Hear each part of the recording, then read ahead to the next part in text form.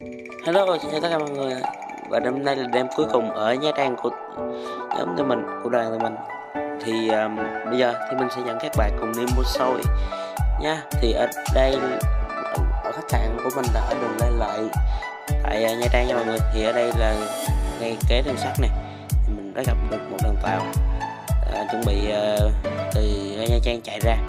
Đó, thì là gì nên mình xin bỏ qua nó nha. Thì ok, đây là chính là xôi đây, chuẩn bị này. Một hộp soi thì 25 nghìn, mình mua 6 hộp cho 6 thằng trong còn thì mình. Đây đây là hộp soi 6 hộp soi. Tầm nhất giá tiền là 150 ngàn đây thì ở đây có đoàn tàu nó chạy qua đây. Tôi nhanh mình làm sót là mình phải ấy thôi.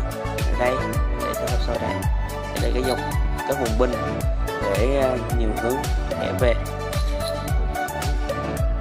Ok, rất cảm ơn các bạn đã xem video clip này. Ủng hộ đừng qua ủng hộ cho mình những video clip khác. Bye bye bye bye.